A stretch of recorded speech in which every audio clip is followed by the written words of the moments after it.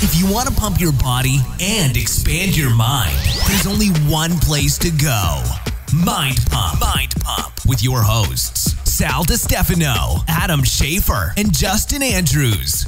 In this episode of Mind Pump, uh, in the beginning, in our intro, which lasts about, I don't know, 20 minutes or so, Yeah. we talk about Adam's wedding. Pretty much just to plug myself in my first Oh. place at Sacramento show. He did. Yeah. We talk about Dick. his we, cousin's wedding. we talk Calm about down. my kid and how he locked his phone. It would not open it for me or, or his mom. Yeah. Uh, he's 12. Hmm. we talked about parent parenting. We talked about burn barrels. The hell is that? Yeah. Find out in this episode. We also mentioned Organifi in this episode. We are sponsored by Organifi. Great organic supplements. If you go to OrganifiShop.com, enter the code MindPump, you'll get 20% off. And then we also mention our other sponsor, Thrive Market. Now, this is a place where you can buy all organic, non GMO products at massive discounts. But what's even better is if you use our code, you'll get a free month subscription, you'll get $20 off your orders, and you'll get free shipping. It's awesome. Hmm. It's thrivemarket.com forward slash mind pump. And then we get into the questions. The first question was What are some of the most appropriate exercises for people in advanced stage or, or novices who want to build strength and mobility? How do we start them off? The second question was uh, Mark Sisson, who's actually a leader in the wellness industry, he believes that everybody should always get away with eating the least amount of calories. So, what is our opinion on that? Do we think he's right or do we think he's wrong? Find out. We then the see. next question was What are opinions on stevia? That's the uh, the zero calorie sweetener that's not artificial. What do we think about that, especially in comparison to the artificial sweeteners like sucralose or aspartame?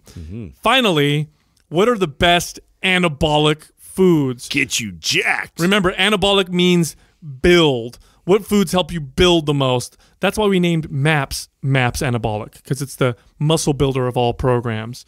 Uh, also, speaking of MAPS, there's only four days left for our September promotion. If you enroll in pretty much any program or any bundle, you'll get something for free. So either you're going to get MAPS Prime for free, or you'll get MAPS Prime Pro for free, or you'll get uh, what do you or Maps Performance for free. So it depends on what you enroll in. Even if you enroll in our super Just bundle, buy something, you get something for You're gonna free. get some shit for free. awesome promotion. Just go to mindpumpmedia.com and enroll. T-shirt time. Give away some shirts, Doug. How many re- how many reviews we get? We got this time? 20 reviews. oh, it's bumping up. I like we're that. doing all right now. So Yeah. we're going to send out six shirts. Say that fast three times. Yeah, say that one quickly. All right. So the six winners are Nope, two, two, two, two, two, two, two, two, two. A lot of twos. I like that. Bepler, four. Tim Eshelman, Body Under Construction, 33. Hmm. JRV SCRR 911, and Y2 Kumensen. All of you are winners. Send the name I just read to iTunes at mindpumpmedia.com. Send your creative. shirt size, your shipping address, and we'll get that right out to you. Thanks all y'all. This is pretty funny, dude. What's funny? Well, I'm reading all the comments of people talking shit and people, oh, they're a great company, this and that. So Rogue, okay, this is totally piqued my interest right now. Rogue has created a burn barrel. So for explain a burn barrel. I don't know. I, I you showed me the picture. All it is is just a barrel so you can burn fucking wood outside. So you can have a bonfire. So it's a safer way to have bonfires. And so Rogue's like, hey, we're gonna get into like the a culture thing with CrossFit or something. we're gonna get into the business. Well, of, this is what that's what I'm wondering. I wonder if this has become a popular thing in CrossFit. This is where I'm I'm too disconnected from CrossFit to the know. newest way to burn fat. Yeah, burn it in a Jump barrel. in a burning barrel. burn it in a barrel. Light yourself on fire. Or maybe that's for like obstacle course races. They jump over it or something. No, It's it's, just a- it's, it's just a not burn like barrel. that at all. It's literally a burn barrel. I'm on the I'm on the website. I'm looking at the, the oh, it's on the website. I was looking at the Instagram. I don't see it. yeah. It's like it's three hundred dollars, two hundred ninety five dollars. It's Is that a good price for a burn barrel? Do you guys know what they? I have no idea, dude. I don't even know. I didn't even know they existed. Uh, you know I I haven't been burn barrel shopping lately, so I don't know what the what the market norm is. I do know that this is really weird to me yeah. that we It would doesn't make any sense. or does it? Is there something that Rogue knows? I, I felt like the X Files song should have started right there. See, when Doug has more time, I want him to do things like that. Because right there, I think to produce that in right now would be awesome. Yeah. Okay. So I'm on I'm on Amazon right now, you can buy burn barrels for expensive ones, four hundred and forty-eight dollars. Some are as cheap as forty dollars, but just looks like a garbage can with holes in it. Two hundred dollars for this one. So I think they're right in the middle Okay. for prices of for I mean, burn does barrels. it have its own? se- uh, Where do you find it? You I went on own Amazon. Section on here? No, no. On, Where on did the I rogue find it? site. It's yeah. so, no, somebody's on. It's on our fo- in our got feed. highlighted? No, no, no. It's on Oh. our feed. Go to your go to your Mind Pump feed. Is it a real? Go to Facebook. Maybe it's not real. No, no, no, bro. It's on their website. I'm on their website. Oh, okay. So I'm on, I'm on their website. That's how I knew it was two ninety. It's two ninety five. They're called burn cages. Incinerate leaves. What does it say here? Inci- and sensitive documents. Does it really say that? yeah, dude. Does it really say that? yeah. Oh no, this is this is not Rogue. This is a different No, one. this I'm is reading. this is okay. Rogue Supply 11 gauge steel burn barrel gives you the ability to set up a fully functional backyard fire pit without the cost and complexity of landscaping project. This simple design, inspired by the popular use of the old tractor tires as fire pit liners, Oh. measures 30 inches in diameter with a laser cut ventilation slots throughout the 16 inch high paneling. At a weight of less than 50 pounds, each burn barrel is uniquely portable, so you can take. We just gave them a commercial. yeah, we should we should call them up and get Yeah. some commission. Rogue, you owe some money. I, I don't know though. I don't know if it's a great like. Ah. that is so Weird. weird.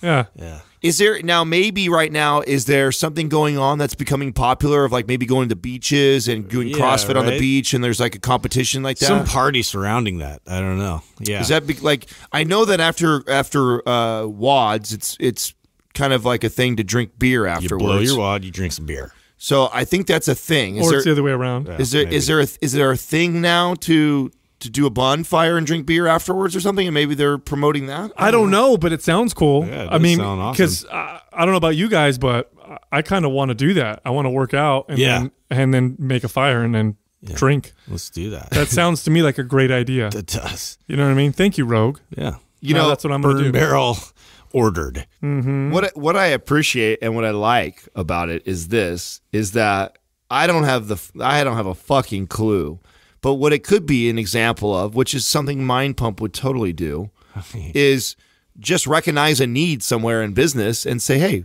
We have an audience. I'm sure they there's enough people. I'm sure the million The people, mind pump bong. I'm sure there's a. Pil- Oh my god! I'm sure there, So much money. Right, out, of, out of the million million listens in a month, I'm sure at least one thousand of them like to sit by bonfires. right, like I Oh, think yeah. Maybe there's a little bit more logic behind this than hmm. than we're giving it. Like, Mind and, pump vape pens. and I mean, they do present the idea that it's common, I guess, to flip tractor tires and burn inside tractor tires. I don't. That does not sound like a good idea. It doesn't sound. Yeah. I, don't they catch Doesn't sound fire? healthy. Don't tires? Aren't tires highly flammable? Yeah, I didn't know that I people. think if they heat up enough, yeah. I'm sure they maybe catch tractor fire. tires are different. Because it's a, it, that's what it's toxic. That's what it is. It's instead of you know the popular Hmm. use of old tractor tires as fire pit liners. I didn't know Uh. that. I didn't know that. So, dude, I got a hilarious story for you guys. Tell me. Okay. So I get a call. Uh, Can't start it like that because then it, it'll never live up to it. So What do you hang mean? on. Just say I have a story. We'll a help story. you. We'll, we'll make it funnier. now everyone's like on edge. I have a going like, really. this better be I have funny. a really boring story. okay. Uh, there, there you go. right. Set it low. Set, Set it it low. low. I Set got the bar low. Okay. So uh, I get a call yesterday from my ex, uh, and she calls me up and she goes, "Your son locked his phone and he won't open it for me. He won't. he won't unlock it." so I, so my son's twelve, right? So I'm like, "Oh fuck!" I'm like, "What happened?" She's like, "Well, he was on it, and I walk over to see what he's doing, and he locks it, and then I tell him." To give me the passcode, and he won't give me the passcode, hmm. and he refuses to open his phone. So I'm like, "What's he doing?" Right? He's in seventh grade. Now I remember me when I was in seventh grade. So I'm like, hmm, what's I'm sure I think I know what's in there. So uh, I get on the phone with him. I'm like, let me talk to him. So I'm like, listen, son, I said, uh, I know you're probably embarrassed or whatever about whatever's on your phone. I said, "N- the fact that you're making this big of a deal about it and not opening it now is making us more worried. Yeah, and it I'm makes it worse. yeah, it makes it a lot worse. So just open your phone and it'll be cool. And he's like, no, I don't want to. I'm not going to. I don't care. I'm like, you do realize you'll never have an electronic for the rest of your life until you do this. Like, An electronical toy. and yeah, thanks, Adam. Can't get it electronical. And uh, uh, No more electronicals for you, son. yeah. That's what I would say. but he's like refusing. so so I'm talking to him. I- understand. We're cutting all the electronicals off right now. yeah, he's like, It's not even a word. He's like, you can cut all the electronicals off. I don't own any of those. So I'm like, listen, I'm like, if you don't unlock it, I said, I have friends who can unlock it for me, and I'll find out what's on. And then, and then you're going to be in big trouble. So we're going back and forth. Now, I went to uh, my son goes to a different school than I did. He's it's much more like nice kids, a little bit more sheltered. I went to a gangster ass school. I was exposed to a lot of different things, and I've experienced this with my kids in the past where they're really freaked out about something, and then I end up finding out what it is, and No it's big deal. It's like nothing. Yeah. dude when he was in third grade he came home from school and he was all distraught because somebody said a bad word. He would not tell us what it was. Hmm. Finally i pulled it out of him that it started with the letter s. So i'm like s? I'm like shit? Did they say shit? Like what was it? So finally i asked him like and i got him to tell me what it was. Someone said stupid okay? So this is so remember the context. Whoa. So he's freaked out doesn't want us to see it. Finally i convinced him to unlock his phone. He's been messaging his friends back and forth and they cuss. They cuss on the fucking text. And he's all worried because he says He doesn't oh, he says the f word. Yeah. Yeah. He says the F word on the freaking Mom's text. gonna be real disappointed. And I'm like, dude, I'm like, you're not gonna be in trouble. Now, how did this work? Now, okay, because I'm thinking in my head, like, why didn't he just unlock it, clear it real quick, and then give it to his mom? But is she did she confiscate it? Oh say, no like, no no! She went full woman style. Like if ah. you know if a woman thinks you got some shit on your phone, give me that. that phone not leaving her sight. give you me know, that. 'cause she's not stupid. You know what I mean? Yeah, No no no no no. She had the phone in her hand and she's like, "We're gonna open it right in front of me," because I'm sure he thought, you know. Yeah. So he's just dropping a bunch of f bombs. I'm like. Ah. So I told him, I said, listen, dude, I said, I know when I was your age, I used to cuss all the time too. I thought it was super cool. It's not as cool as you think. Just don't listen to my podcast. it made me a career, but yeah, you know. yeah, whatever. Yeah, Uh, but I said, listen, you, you talk like that with your friends. That's fine. Just don't talk like that in front of adults, in front of your sister or whatever. And you know, don't disrespect your Right, if there was a place to do it, it would be via text with your friend on the. But we were all worried, you know, we're gonna Oh, open up some crazy shit. Yeah. I thought he would just have some naked pictures No, or something. dude. Like that. That's what Oh, I my thought, like sharing pictures with his buddy. Like, check out this naked chick. Here's a boob. I found it. Yeah. no, it, it was basically like, you know, like I hate this fucking game or this fucking guy cheated or stupid Yeah. shit like that. It wasn't even bad cussing. Matt's being a shit. You know what I He's a, mean? he's a real shithead. You know, so I feel like do I make a big deal about it so he doesn't push it even further? You know, Yeah. I can't believe you said a bad word, son. Ten lashes. but no, it was, that was all it was. That you know that has He's to. way behind me when I was his age. How does that? Take How away your fruit. how you fast is that process for you when you when that happens when they, when when you're dealing with that right? You get on the phone. And in your head, I know it's a million things are going through your head. Like, okay, could it be this? Could be that? Could be this? Could be this? And then when you find out what it is, is there a moment where you go like, okay, should I act mad about this or should I just let it blow over? Like, You know, I you- I want.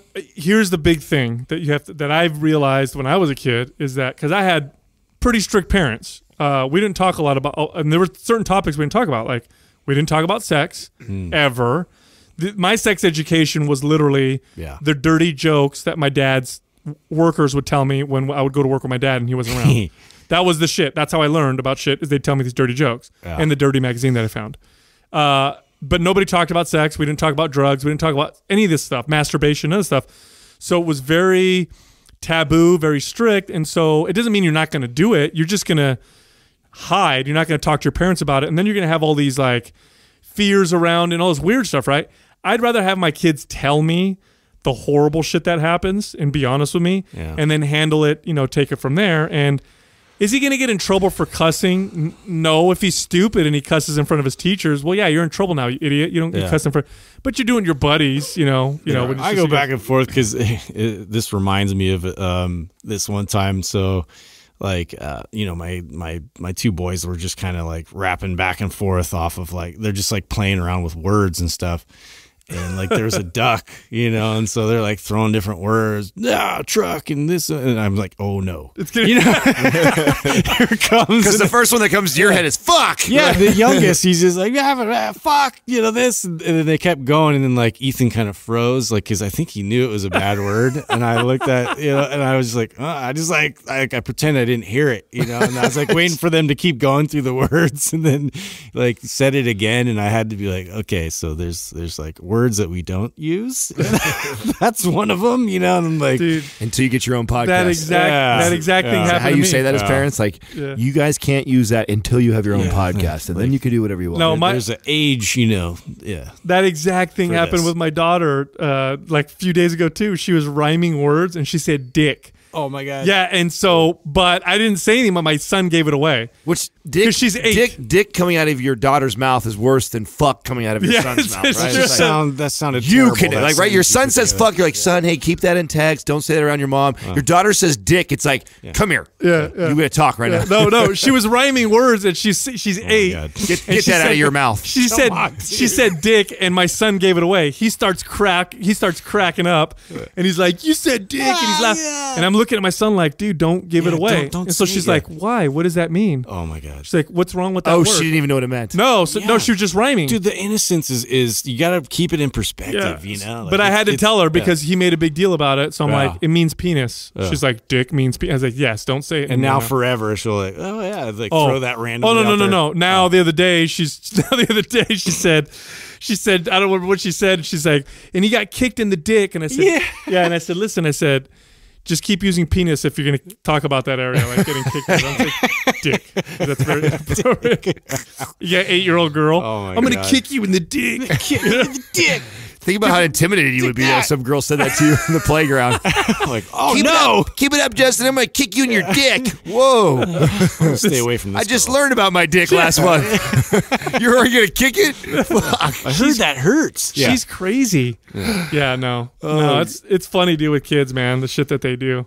I went and watched. Uh, so we were out. Um, Katrina and I took off to Sacramento. my Sacktown. That's right, Speaking my- of dick, sack. my cousin, my cousin got married out there. It's hot. It's sweaty. It's beautiful sack. place called the Firehouse in Old Town Sac. What a beautiful restaurant and venue to get married at. It was absolutely gorgeous. And uh, we went and stayed. So we went up the day before because they were doing like a rehearsal kind of dinner barbecue at the family. It was totally low key, where all the family, friends, everybody could come to the house for. So we decided instead of driving up the the day before, staying there, that we would stay at one of our favorite hotels over there and there's uh, right not too far from old old town old town sack or whatever they call it uh, is uh, the Westin Old and it's wrinkly sack. right it's right yeah, old wrinkly sack I don't know if that's what they call it bro the old sack. uh, they Just trying to help. they've got uh, the Westin has a beautiful hotel right there on the river that we stayed at when um, I competed at the at the um, Sacramento show my show that I took first so there's of course uh, good feelings long, long way for you to tell everybody you took first. Dancing around. well we said I didn't That's the end of the story. Isn't that great? Isn't that great, guys? Isn't that great? Yeah. Well, there was uh, there was some times we didn't take uh, any place at all, and that I stayed in Sac. So there was a show there that I didn't place at all. Who got married? Uh, my cousin, I said, my co- my cousin Johnny. How old is He He is 25, and he fuck, is he's the young. Well, he's the only other male Schafer right now. So he's there's he's carrying the name on. so he's uh, Oh, so he needs to hurry up and the make some. boys. Right, right. Just in case I don't. So, and you know, there was that in the back of my head. Like, listen, there's only a couple of us male Schafers left on this side of the family, and so I, I, I almost felt obligated to have a child for that exact reason. But now I feel comfortable because he's 25. He's already getting married to a young, beautiful 23 year old uh, Juliet. So uh, the chances of them having kids are probably much greater than me having anytime soon. So the Schafer name will live on. Uh, Were the- you in the wedding or were you just attending? no, no, no. I was just attending. He uh, he had most of his his buddies, and we weren't. So I this is my uncle who this is my father who uh, died when I was seven. It's his brother that I really didn't get as connected to him until almost thirty. So we've become really tight in the last you know eight years or so. You but before that, I really didn't see him that much. So Johnny, my cousin, who's twenty five. I really wasn't in his life that much until most recently. So most recently, I've been uh, seeing them and spending a lot of time with them. But before that, oh, we weren't that that close. Do they live up there? Yeah, they live in Sacramento. Is Yeah. he is he got like a job and he's done with school, doing his thing now, or Yeah, he works. He's really into uh, you know brewing and wine. Like he's a major wine and alcohol guy. So like he's all into. He's, working for some brewing company, I think, right now. Uh, that's kind of like where his passion is. So he's like my other brother-in-law, who's they're hardcore into IPAs, and they, they you can sit there, they'll sit there and talk to each other. Like the uh, everything had like wine or beer type decorations for all the stuff on the tables and everything. It was pretty cool. It was done really, really well. And that I've never been to the firehouse. So if you're ever in Old Sac, that's a really cool restaurant to check out. Just absolutely beautiful, and the food was amazing. Um, but uh, yeah, that was a good time. We had a good, a good time Do you guys there. like weddings?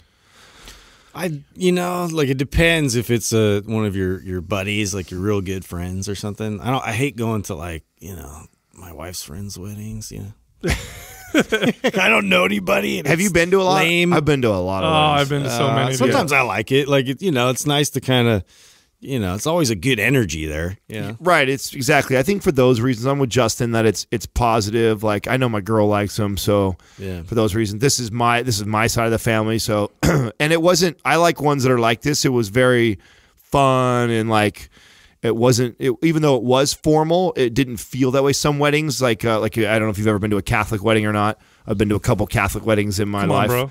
Well, hey, not everybody has. Even if you are technically Catholic, some people haven't been to a Catholic wedding. But if you've ever been to one, A they're you know, three hours long and you're standing and sitting and standing and sitting and it's like oh, super formal and super rough to go to. So it wasn't like that, you know. Mm-hmm. So What do I- they call it when it's after the ceremony? Like Reception? after- yeah, that's the only part that I. You don't show up for the No, mass. I don't go. I don't go to that part. I God, I, I'm I not make a, up an excuse and I show up later. I don't like weddings because I don't like dressing up. Uh, that's not fun. Then Mm. I don't. I'm not a big like. I could care less about dancing, let alone dancing with a bunch of relatives. And you just basically drink. There's really nothing much to you know. And the food really at weddings isn't that great Those usually. are all, Well, that's those are all great things. I think these are are the things. about? Some wedding I've been to a lot, right? And I've seen little things that I like. Like uh, Larry, actually, one of the coolest parts at Larry's wedding, his first wedding, uh, and I, I thought was awesome. And I haven't seen anybody top it yet. They did such a cool video of uh, talking to all the best friends and the parents and the families of both sides, and they made this super awesome like hype video. so if you were somebody, and this is what I what I, I think what is a lame for weddings is that a lot of times you're at a wedding and it's it's you're paying your respect for that person, but really you like don't know that relationship that well. Like let's be honest, like I know my cousin well, and even that I don't I didn't get to sit in that much time, but and I know Juliet because I've been around her a couple times, but I really don't know them as a couple, right? Yeah. So the with Larry's, it was so cool to watch uh, this video before the whole wedding happened, or it was right after the ceremony and it, I thought it was. I think everybody should do something like this for the well, for the guests because it gives you like this storyline, and you get to really kind of understand. They tell the story of each of them individually growing up and their family and their kids, and then it's like hmm. them together in the relationship. And I feel like, oh, I really feel like I know them now more than before because most of the time at a wedding you have people that are representing the groom, people that are representing the bride, and we're all here to celebrate their Oh my God, how was the best man speech? Because I've been through some really painful ones. so it wasn't it it wasn't bad, but it wasn't really it wasn't one of the better ones either. Yeah. Like it's a best. I mean, I've done four, right? So there, I and I've had ones that were I thought that I did that were really weak, and then I've done ones where I thought were really powerful and really good and really heartfelt. Um, I thought that they were heartfelt, like a lot of people cried, like or not not not a lot of people listening. They cried while they were giving it. Yeah, Uh, everybody had that's to, usually the move. Everybody was reading uh, off of a piece of paper. So it wasn't, but what his best man did do that was really cool. His best man uh, could play the guitar and sing really well. Oh, and so he played and, and sung the, um, God, what song is that? I know this song. Uh, I, think, I think it's a Jimmy Buffett song. For I don't want to be a player no more. yeah, that one. It's- it's- I think that's big End of the road? I think that's big, Big pun. pimpin', spending cheese. Uh, he played that for their first dance, so I thought that was pretty cool. That was what was uh, neat. I think the this the venue was the, my favorite part. I mean, this place was just absolutely beautiful. Oh, the be- best speech I ever saw at a wedding was my sister's father-in-law. So everybody was giving speeches, uh, and they all start out by saying, "I want to thank this person. I want to thank that person. I want to thank this person." And so he gets up, and so he continues the speech, or he starts his speech in the same fashion. And he goes, I'd like to thank this person, thank that person. He goes, but I'd especially like to thank the following. He goes, American Express, Visa, MasterCard. so all, the, all the people he's thanking for paying for the wedding. that's it was great. it was pretty funny. Oh, that is it was, funny. Yeah, it was good times. yeah, I've seen I've seen some that are pretty. Uh, that's what I like when they do like a roast. I love when someone Yes, gets up there and kind of my favorite, Right, yeah. if you do, if you have somebody who does like, like a really. inside information on Yes. it, and you just like put them totally on blast. we were just at a wedding. I did that to my brother. Katrina and I were just at a wedding that uh, one of her coworkers got married, and uh, the guy, one of his, his, the best man came up. It was his brother, and his brother, it was his older brother, gave his younger brother like just the most ultimate roast. I mean, I I had I'd never even met this guy before, and I felt like I totally knew him after that roast because it was so great. So Yeah. I like shit like that. I like when you get somebody who gets up there and can just rip into somebody they've known for their whole life. But I mean, you did, you did it tasteful too. It's not like it's hurtful or embarrassing if it's funny, you know. You know, something I want I, I wanted to ask the audience is just as a favor because we we've been putting a lot of energy and focus right now on the YouTube channel and then the Facebook page. So if you haven't been over to the Mind Pump Facebook page, and I'm not talking about the private forum, just the the free page that everybody has access to. Uh, we're really trying to put a lot of focus there, and so something that would help us out a ton. If you get time to drop in there, like the page, and if you can, leave a review. If we've provided any content that uh, has helped you out at one point in your fitness and health journey, we totally appreciate that. So if you guys haven't checked out the Facebook page, Mind Pump, check that out. We appreciate all them five star reviews, you guys. We love you. Bird. Is the word. Bring on the bird. This Quah's brought to you by Organifi. For those days you fall short on getting your organic veggies or whole food nutrition, Organifi fills the gap with laboratory tested certified organic superfoods to help give your health and performance the added edge. Try Organifi totally risk free for 60 days by going to Organifi.com. That's O R G A N I F I.com and use the coupon code MINDPUMP for 20% off at checkout. Big Man James, most appropriate exercises to prescribe to a complete novice or older age group in a gym fitness program to give effective weight loss but also strength and mobility whilst retaining adherence to a healthy lifestyle. Oh my goodness, this is What's the perfect exercises for all these people? Well, here's the thing: is we we're all going to say the same, thing right? No doubt, the squat is one of the best movements. But the problem when you say something like you said, advanced age, right? Like advanced age or the total novice is that more more than likely, uh, the first time somebody gets down in a squat, it's pretty fucking ugly.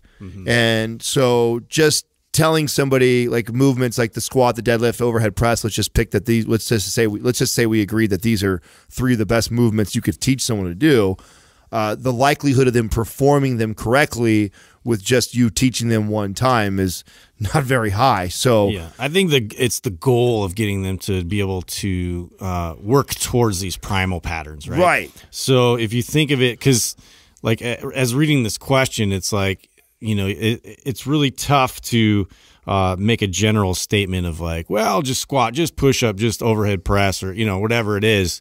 Um, it's so you know individualized and case by case, and um, I, the assessment process is is really really important uh, as a trainer to um, dive deeper into where you can sort of fit in the best protocol, the best exercises that will benefit them right now and build them up towards these goals that we want. them Well, I have. think every trainer should aspire to get to get their clients to be able to squat, deadlift, overhead press, and bench press.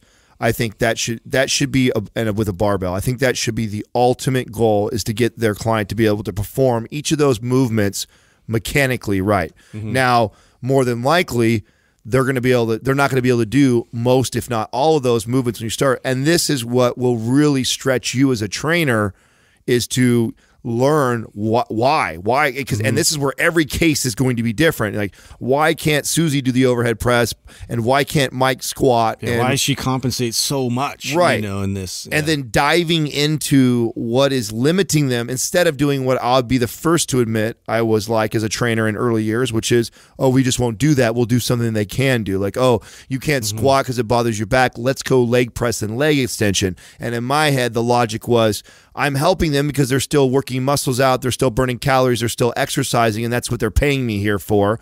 But in re- reality, the the better, the older, the more advanced trainer in me would say, okay, I she can't squat because her back hurts. Let's figure out why her back hurts, and let's get to the bottom of it, and then let's start to teach her these movements that are going to eliminate her back from hurting while she does she's performing squats because more than likely it's not a, a structural issue as much as it's a mechanical issue and why is why is her mechanics failing when she does to do she goes to do a squat and then learning how to fix that so So here's some here's a typical uh, breakdown or how I start. In, individuals vary dramatically. Okay, so I'm giving you a super general like how I'd start people in this category. You know, advanced age or novice or you know. Uh, uh, dysfunction in terms of their you know their, their movement in their body so if i take an older person i'm training them typically the way i start them off one of the first exercises i have them do is i have them practice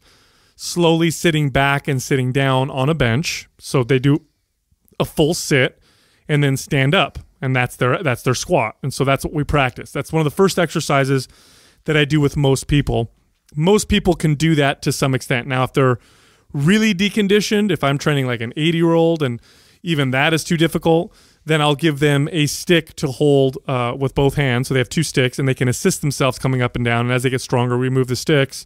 And it's just really controlling the descent and standing back up. And that's how we practice getting to a squat.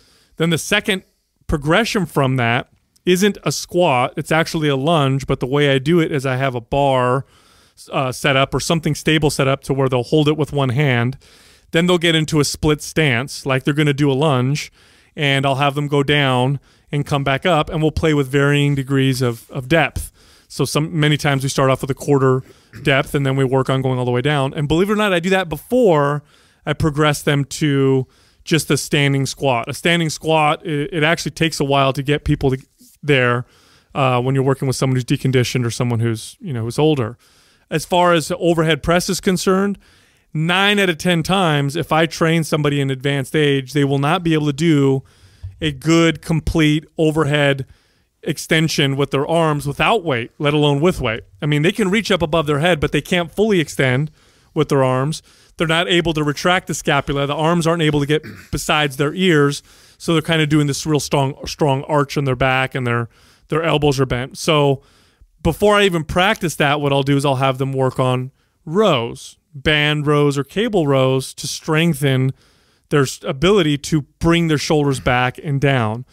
Then the next step before I do an overhead press is I'll actually have them hold on to a lat pull down bar so that it's providing resistance up so that they're having to pull it down. Don't have them pull it down. All I'm doing is I'm having the the bar. And sometimes I don't even use a, a lat pull down bar. Sometimes I'll use a stick and just pull up with my arms.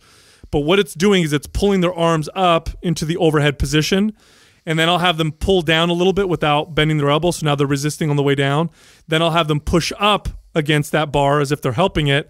And then I'll slowly take the bar out of their hand and see if they can hold their arms in that straight, strong overhead position. Because a lot of it, before we can work on good fundamental strength, I have to get them connected to that position. And to get them connected to that position, one of the best ways to do it is to put them in that position if possible. So I get their arms fully extended and then I have them connect to it and then I release my help and see if they can hold themselves there. Many times their hands will start to drop as they start to release their hands and we'll start practicing there. But over time, they're able to hold their arms above their head and then slowly progress Yeah, them to so this there's, overhead. There's like mainly like the, the, the overall function of, of each joint. I mean, you got to like test the quality and the range of motion and what you have to work with, right? So, like a lot of times, hip hinging is where we need to start, right? You don't. Most people don't even understand uh, the difference between hip hinging and squatting because they just kind of fall into that position versus uh, actively, you know, connect to that and, and push their way through it like a stretch. Um, so, you know, there's a lot of what Sal's talking about. You know, we we sort of prep the person and we prime them into connecting to those types of movements and uh, you know what the joint uh, should be able to uh, function and, and what it should be able to produce uh, movement wise and so you know placing them into the proper positions is very crucial. And then what i even do with that is very similar is just to get them to squeeze and, and isometrically uh, contract. And what, what does what does that feel like? And what, what should you be feeling? So slow it down. Uh, so Dr. Brink actually shared an, a very fascinating article on the forum. I don't know if you guys saw it on the squat, Mm-hmm.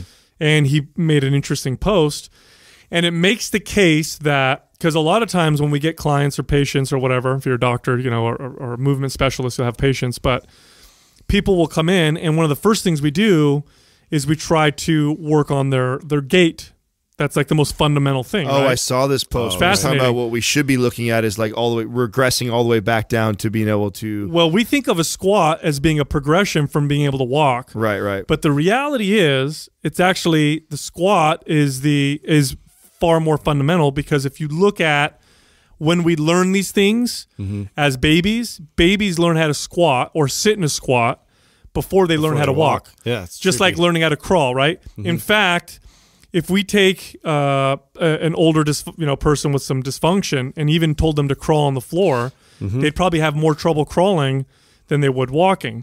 And it's not because it's more difficult; it's because we've literally forgot how to do this shit because we stopped doing it. Yep. It's something that we just stopped doing, and we forgot how to do it. So the good news is you can relearn how to do this.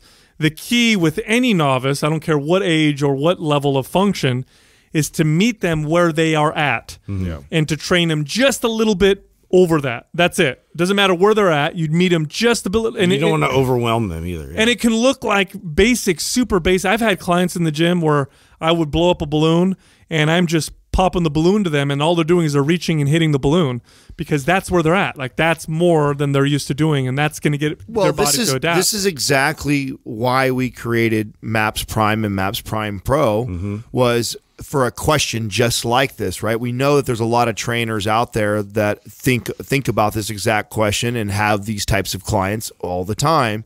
And in the, in reality, a lot of people can't perform all those major lifts. But instead of just being okay with that and moving on to a different exercise that they can do, the idea is to give you the tools that to help you figure out why they can't do that movement. Why can't she do this? And that's why in, within the Prime, you know, and Prime Pro, there's these tests to check the range of motion for each joint. And if they fail, then there's movements to help that. And so that's the way you look at this is okay, my goal is squat, deadlift, overhead pe- overhead press and bench press. These are my big movers, right? These are my big main movers and that is a solid solid uh, foundation for anybody. Now the real reality is that a lot of those movements they won't be able to do or they'll have they'll have limited range of motion whatever. So don't neglect the movement you know, challenge yourself to figure out what it is that's limiting them. It's only going to make you a better trainer. We're doing the best that we can to provide all the tools via YouTube or programs to help answer all these questions. Quick commercial break. Hey, people ask us all the time how they can support Mind Pump. Here's what you can do. Uh, you can go to www.brain.fm forward slash mind pump and get 20% off Brain FM for meditation or focus. You can also go to audibletrial.com forward slash mind pump and get a 30 day trial plus one free audio book. Lastly, you can go to getnatureblend.com forward slash mind pump and you will get a discount on Ben Greenfield's CBD product. Next question is from Anthony Santana, PT. Mark Sisson believes that everyone should always get away with eating the least amount of calories. What is your take on this? Will your body create a new maintenance with lower calories? And then once that maintenance is set, can you build muscle with that lower caloric intake, even though the science says your calories are going to be too low? Okay, I know why he says this. Yeah, I get what he's hmm. saying too. This is this is actually an interesting, Interesting. debate, and I feel like I can argue it either way. Well, I I mean, for longevity, I mean, technically, he's right. Uh, for longevity, Well, you, you for longevity, to- Based off of the studies, if you were to look at somebody who eats at certain low of calories versus zones. versus somebody who eats an excessive amount of all, calories, all the science points to this. All, all the science points to accelerated signs of aging with the more food that you consume, in particular, the more protein and more carbohydrates that you consume, um, or the quality of food that you consume. They measure. They this is both uh, measurements through subjective measurements, how people feel, how they move, uh, joint pain, function, you know, health, that kind of stuff, and then there's you know which are also objective, and then also the uh, the shortening of the telomeres, which uh, which uh, now are very strongly connected to how old your DNA is. Um, in, in terms of you know, the shorter they are, the older your DNA is, and the more likely it is to mutate. And they do this shows shows up in animal studies and in human studies where the less you consume and the less you can consume, the better for longevity. But I, you know, here's the thing with that: there's the whole live longer thing, and then there's the whole live better thing, and there's a balance between the two. Like, will I live longer if I don't, you know, eat, you know, uh, the cake at my kid's birthday party? You know, technically, probably. I don't think there's any real benefit to it. But I mean, what kind of? I mean, do I want to do that? I mean, I'm celebrating my kid's birthday. He's only going to turn five, you know, once in his life, and it's a cake, and we're enjoying this wonderful time together. I mean, there's kind of a balance there, and there's also this. Like, let's not let's also consider the studies that show that quality of life, enjoyment of life, and the connections we have with people is also strongly connected to longevity. And if you eat low calories because you like to eat that way and you're health conscious, but you enjoy your life, that's fine if you're a fanatic and you're, you know, orthorexic with your diet and you're eating low calories because this is the way I have to eat and I want to live a long time and you're super anal about everything and you fucking hate your life and you're not connecting with people, is that going to, uh, what about the, the negative effects of the connections and the fact that you hate your life?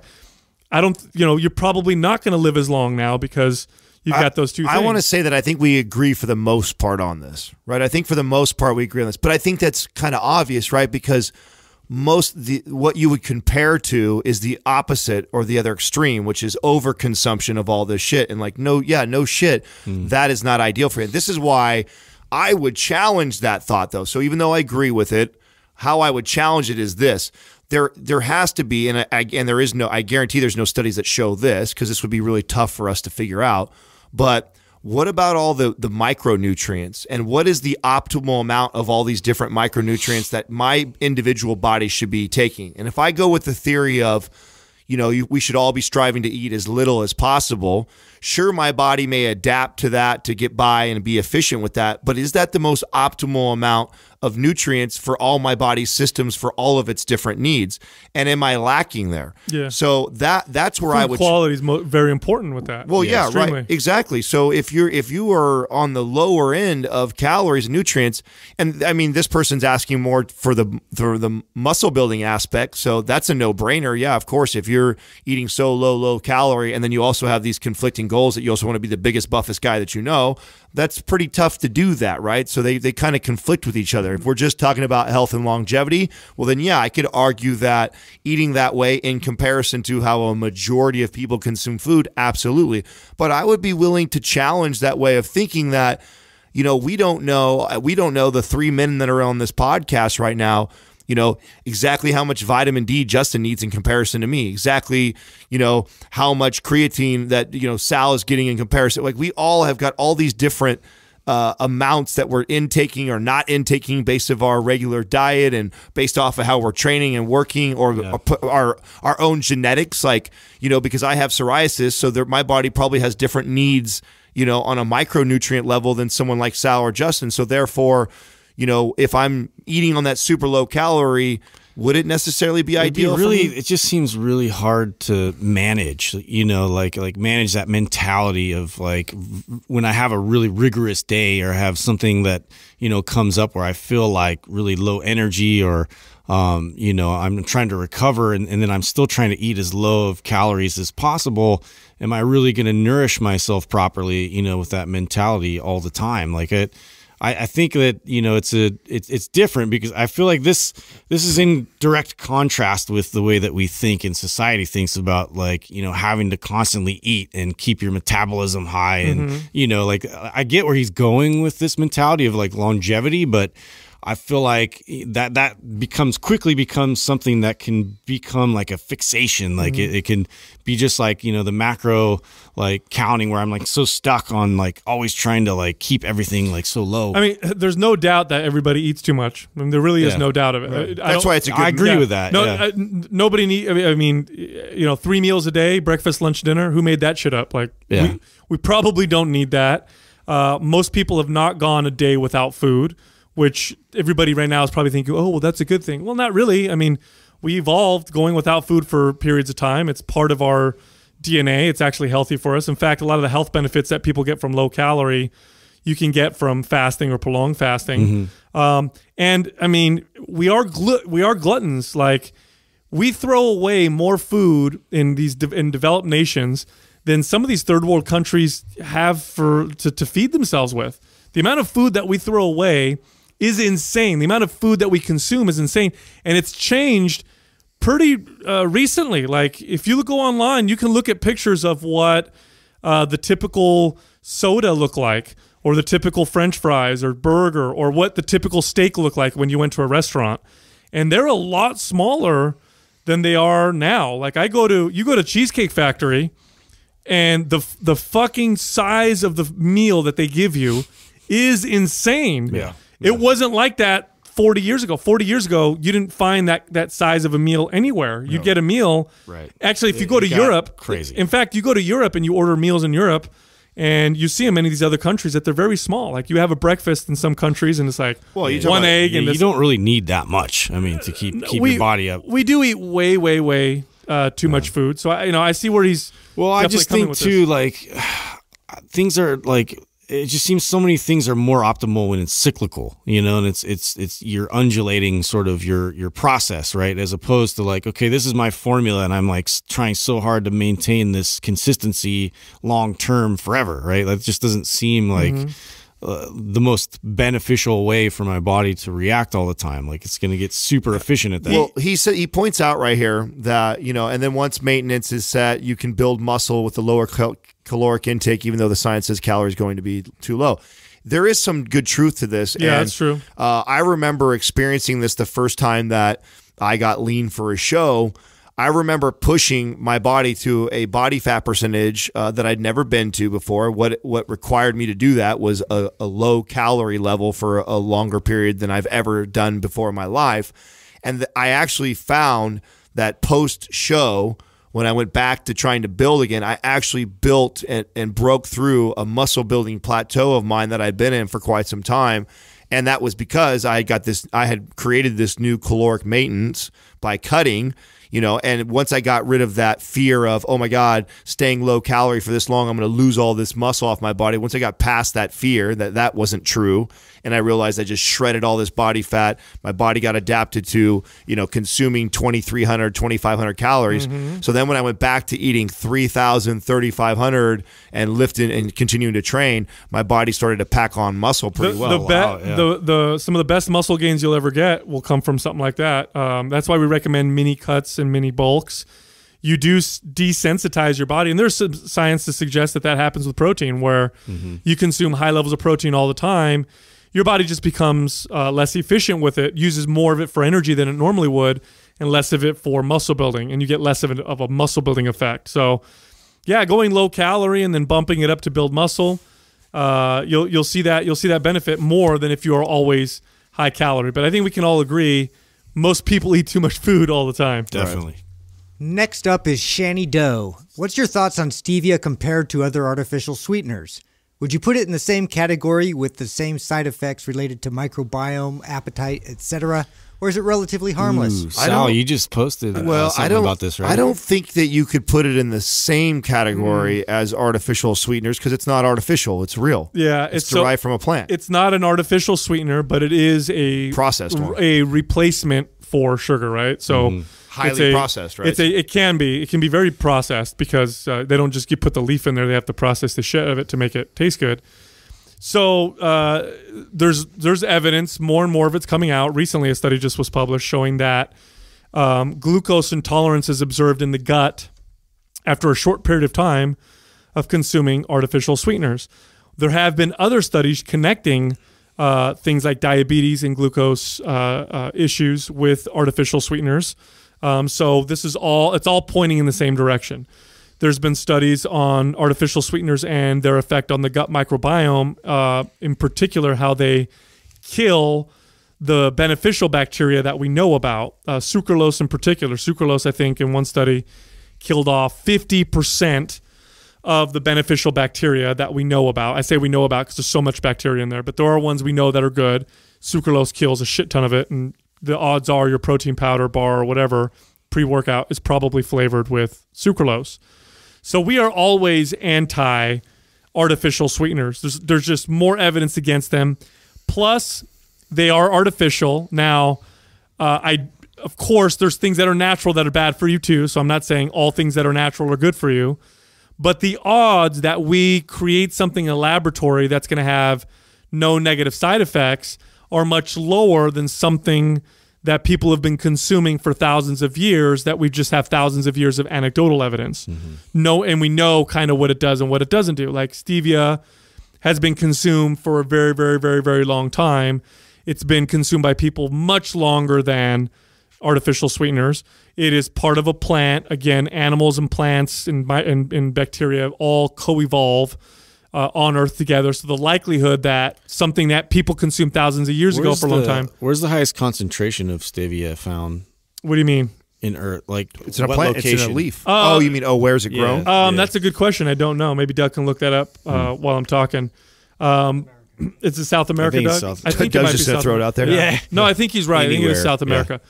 So, so that's why I'll go artificial. If I'm going to bet money, I'm going to go. I'm going to go natural all day long, uh, always, because I know I'm going to win most of the time. That being said, that does not mean stevia or stevia is not uh, is is perfectly safe. Um, stevia has no calories in it, so that makes it cool. It doesn't really affect blood glucose levels like um, like sugar will, so that's cool. Uh, is it perfectly safe? Here's why I'm going to say no.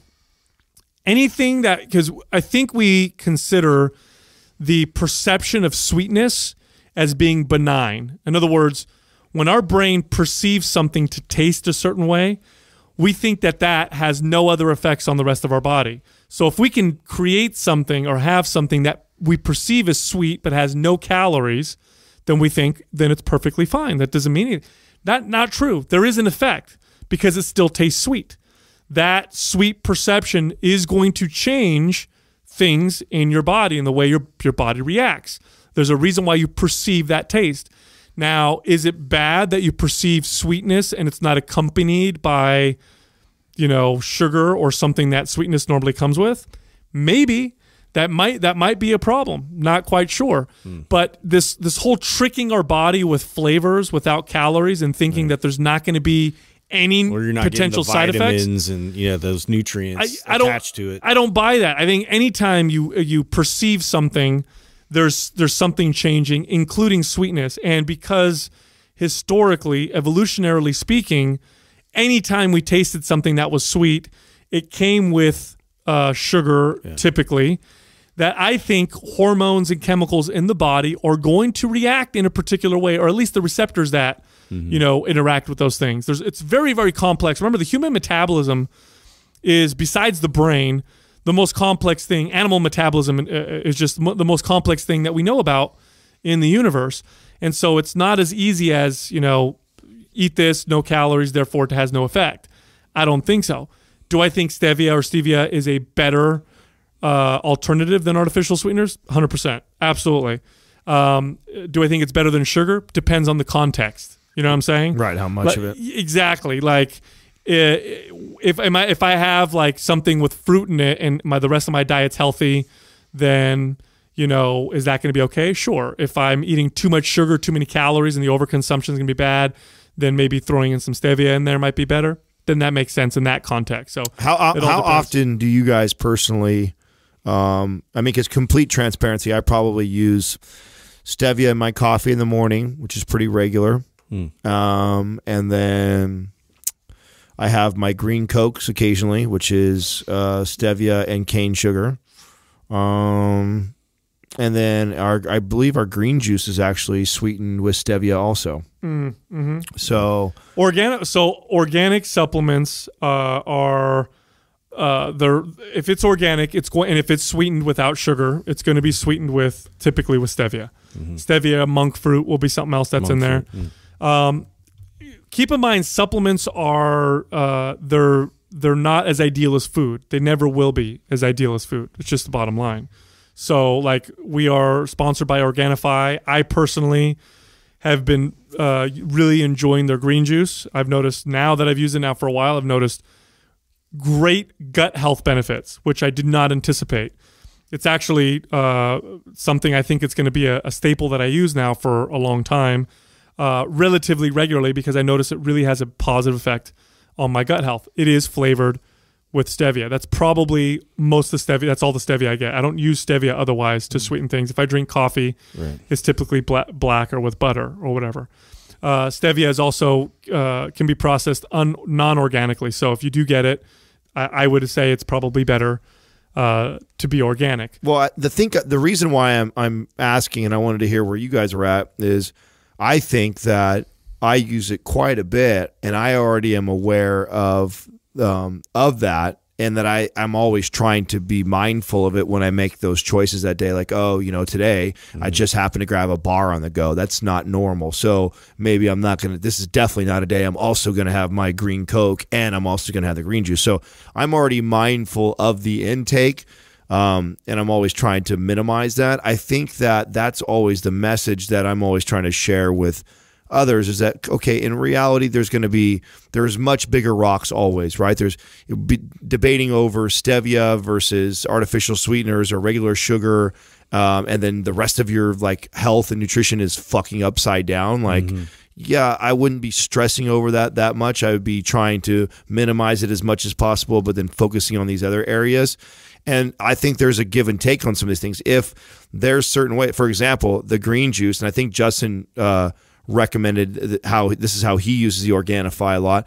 It's just a way, and I've used it the same way too, because I do like uh, you know, I, I used to like Coke Zeros or the green Cokes. It's just I like to sip on something besides water. I drink a ton of water already, and so I like to have something else. It's a nice change, right? And it's if it helps me not drink something else that is way worse for me. Um, this one at least has a bunch of benefits that I'm getting from the green juice. I'm going to take that because it's a lesser evil. So I think all these things have to kind of come into play when you the, your thought process of I do or I don't. Yeah, I think that's the important message. Really, is to pay attention. You know, to really understand, um, you know, your intake with that, and um, you know, like you said, like I definitely am not gonna eliminate all s- things that taste sweet in my diet. You know, that's just not a reality. Like there's there'll be days where I do try and do that, and I'm more mindful to you know consume you know less carbohydrates, less you know sweetening, you know sugar, stevias, whatever it is I'm putting in my my my daily you know intake. Um, but yeah, like I like to use stuff like that, like green juice, just like you said. Like I'll I'll look forward to it that way. So the more you sort of minimize it in your diet, the more actually you look forward to it. Yeah. Now, stevia in South America as an herb was used for to treat certain things, so like stomach problems, uh, colic, uh, um, and believe it or not, I got to read more about this, but as a contraception, uh, as a form of contraception. So some naturopaths will recommend that women who are trying to get pregnant or are pregnant might want to look into or think twice about maybe using stevia because of that. But hmm. Oh, really? other- but it's also got health benefits. So like there's studies showing stevia's got anti-cancer properties, improves blood pressure, good for cholesterol. And again, it's been used for a long time in South America as a medicinal herb. So that's why I always lean towards it as my, you know, non caloric uh, sweetener of choice. Quick commercial break, you guys. We keep getting asked all the time, how can I support the Mind Pump family? Here's one of the best ways you guys can. You guys love that Kimera Koffee that we have. Kimera Koffee with a K. You go to kimerakoffee.com, put in the discount code Mind Pump for 10% at the checkout. If you guys have not tried Ben Greenfield's new bars out, they're fantastic. If you want some, go to bengreenfieldfitness.com forward slash nature bite, put in the code Mind Pump and get 10% off. Go check it out. Next up is T Fluid. What are the best anabolic foods? Oh, easy. Fats. Yeah, no, I, I, I'm going to say very, very easy. Okay, so if we're thinking about, if we're talking about foods that actually have an anabolic effect, Steroids. anabolic meaning, I'll eat those for yeah, breakfast. Yeah, go, go to the steroid tree. Yeah. Uh, that actually um, promote an anabolic environment with your hormones and everything in your body. Um, dietary cholesterol. Uh, dietary cholesterol. If you consume, it, it- and it doesn't work long term. It's kind of a short term thing. You'll get it. You'll notice it. Steak and eggs. Yeah, and it, it by the way, old school bodybuilders. Yeah. and old school strongman, this is what they used to do when they wanted to get stronger. They would eat uh, liver and egg yolks and full fat, you know, butters and creams, and they didn't know why it worked. They just knew that it worked and it made them really strong. It was the cholesterol. There's many studies that show that consuming uh, high amounts of dietary cholesterol for you know relatively short periods of time, you know three to six weeks or whatever, you'll get a boost in testosterone. Remember, cholesterol is the it's like the the the base molecule for hormones. In fact, cholesterol itself is a steroid. Steroid refers to a class of, of molecules. consuming more cholesterol strengthens cell membranes. Uh, it will increase uh, testosterone levels. You'll notice an anabolic strength building effect. I always do when I do this. Again, I notice it short term. It's like three weeks, and it kind of goes away, and then I bring it back down because I I, I may notice some negative si- uh, some Dude, negative people effects. are still so scared of this because of the American Heart Association. Like they fucked it up for everybody. I feel I feel in sodium too like this. So I Yeah. feel like um, Good one. whenever I and, and I highly recommend people uh, uh, trying this right where they'll kind of go low, either come off a fast um, or like lower sodium, lower calorie, lower type cholesterol, and then feeding it hard to, so you can really see the difference, right? Obviously, if you just if you don't track, you don't pay attention, and then all of a sudden you just oh I'm gonna have some more eggs in my diet or have some liver every now and then, you may not see enough of a difference. And you know I know Sal has talked about this on the show before, where you know he'll literally look at his total amount of cholesterol and double the intake, and so it takes kind of that you know difference to really feel the difference if you're looking for like that anabolic feeling uh, and nothing has given me more that more than that than actually restricting from certain foods and then feeding back into But into then you it. felt more inflammation as a result, right? So you have to like manage that properly as far as like the time frame that you do this, right? So Yep. So yeah. So I'll I'll do it. Um, when I do when I do this, I'll usually phase it around a strength building phase because that's right. And cholesterol bumping your cholesterol also strengthens the the central nervous system, and so I think that's where a lot of the strength gains come from, and then the muscle gains follow. But having cholesterol post workout, this is something that I've been talking about for a little while, and this is very interesting. Cholesterol is used to repair muscles as well. In fact, if you do an intense workout and then they test your serum cholesterol in your blood, it'll go down because your body is up to Do sucking you know what? in. That was something that we called a long time ago that I don't know if I've seen yet. Has someone done that yet? I've heard a couple people talk about it. It's it's not new information. It's old. Like I know. like they used to do it back in the day. Again. But you know, it's made a comeback Yeah. because of the what two years ago or three years ago, guys, when we first started Mind Pump. Uh, when uh, American Heart Association had to come out and recant what they had been saying for the last thirty plus years. So yeah, because it's no longer a nutrient and concern according to them. Right. And back then it was, right? So now that it's not, now that it's more popular, American Heart Association recognizes as it's okay. Now I bet we're going to see supplements start to Totally. start to come out that's related to that. Now We've, here- we've speculated and talked about doing it ourselves. Yeah, and now here's the problem with that is how do you provide cholesterol in a non-oxidized form? Hmm. Because like eggs, for example, egg yolks, when you cook the shit out of your eggs, you actually damage some of the cholesterol and not only make it less you gotta go raw, baby. less ideal, but in fact it may be pro-inflammatory a little bit. If you eat the egg yolks raw, then the cholesterol uh, is better for you. So I don't know how they would put it in a supplement without processing it and creating and just making could have it some bad really nasty drink. you know, and see what happens. Um, I'm not quite, I- I'm not sure, but like post Remember, workout, remember how they used to do the the egg white pumps? yeah, Maybe they do that with the yolks. dude, it's funny. So it's like we should call that, we should call the company that makes egg whites and be like, hey, what, Oh, are, you, yeah. what are you doing with all Give the us yolks? your leftovers. Yeah, we'll take all the yolks over. but yeah, post workout, man, you'll get faster recovery. Um, and more strength from doing that. The other one is saturated fat, bumping up your sat. I know I'm saying all the shit that everybody's like, oh my god. I know. We said, what do I say? Blasphemy. Sodium, saturated fats, and fats. That's Yeah. it. But it's true. It's true. Yeah. It's Yes, true. it is. Bump up your saturated fat intake uh, if you're healthy otherwise, and it's you know natural fat, sources of saturated fat or good sources, and you'll notice that your strength uh, will typically go up as well. But I'll tell you something right now: nothing's more anabolic with food than going from a you know uh, a, a, a, a deficit to a surplus. And That's- when you when you and when you do something like uh, like the sodium thing I'm talking about, so I always recommend someone tracks it first, kind of pay attention to where you're at, and keep it minimal. And then like if I'm going to boost it, I'm going to boost it with like a salt, like a Himalayan pink salt. oh, dude, I'm glad I you brought that, that up. up on on Thrive. Uh, Yeah. yeah, Oh, I- yeah. Yeah. So Thrive's got a great price on Himalayan pink salt because it's normally expensive as shit Hmm. at the store. Check this out. I'm glad you brought that up, Adam. I just Mm-hmm. read an article. They just did a study Oh, sea salt. Yeah. on a bunch of popular brands of sea salts. Mm-hmm. And and I believe in either all of them or almost all of them, like a majority of them, they found microscopic plastic. what? Yes, in almost every single one. That's You- the state of our ocean. That's our we have so much fucking plastic. that's because of our oceans. Yeah. Because they're getting it from the ocean, and our oceans are There's filthy. like islands of plastic. So they're filthy as fuck, right? Yeah. So that you take sea salt, and you're a health person, you're like, oh, I'm gonna eat this healthy sea salt, and you end up ingesting plastic, which is very bad for you. Wow. And they're so finding- frustrating. So I'm telling people, I'm telling my family, everybody, like either you consume the best source is Himalayan mm-hmm. because it's mined from ancient beds of salt that existed before we polluted the shit out of our oceans, so it's clean. Or got to go with the freaking, you know, process the shit The salt Morton's because fucking- because it's better than plastic.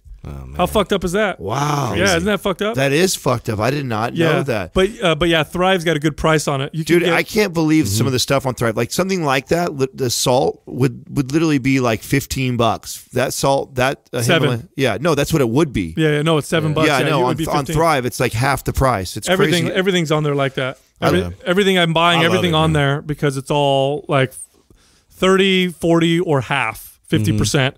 And I know Whole Foods now has lowered their prices because they're working with Amazon.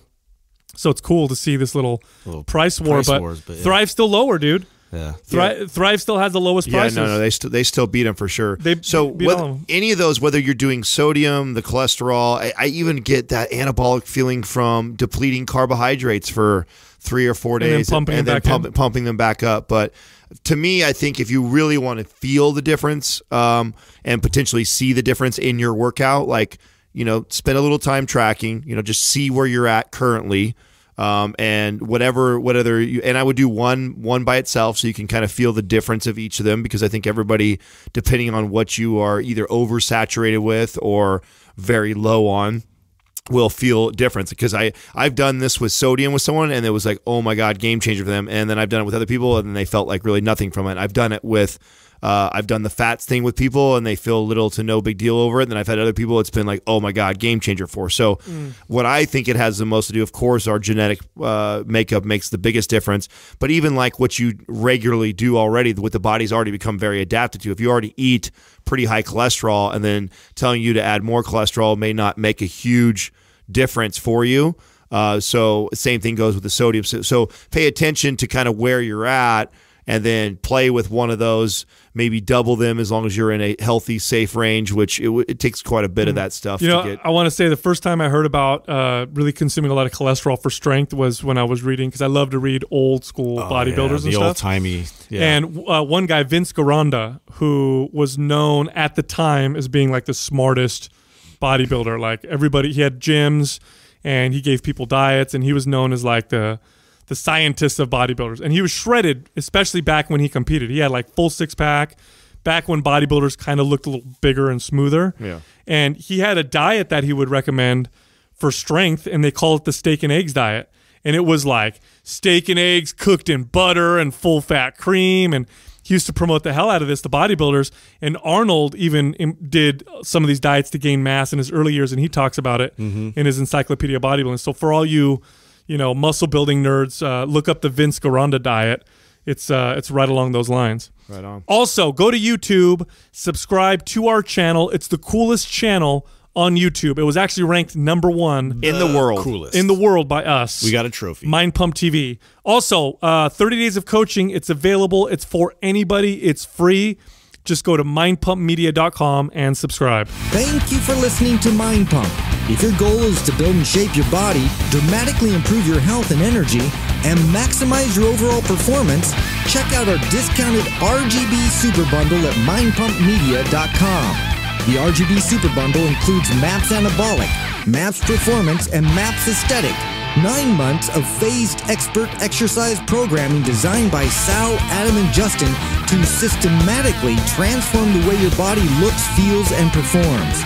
With detailed workout blueprints and over 200 videos, the RGB Super Bundle is like having Sal, Adam, and Justin as your own personal trainers, but at a fraction of the price.